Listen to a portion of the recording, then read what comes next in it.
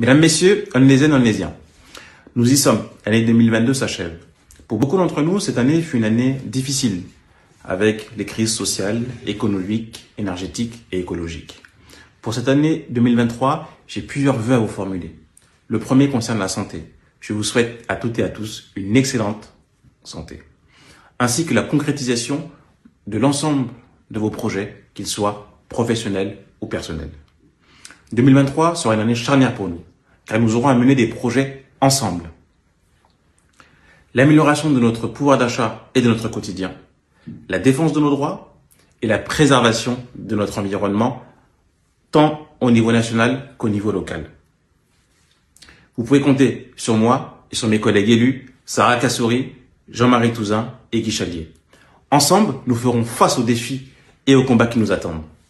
Ensemble, nous ferons d'Annay une ville plus démocratique, plus solidaire et plus respectueuse. Je vous souhaite à toutes et à tous une excellente année 2023 ainsi qu'à vos proches. Prenez soin de vous et à bientôt.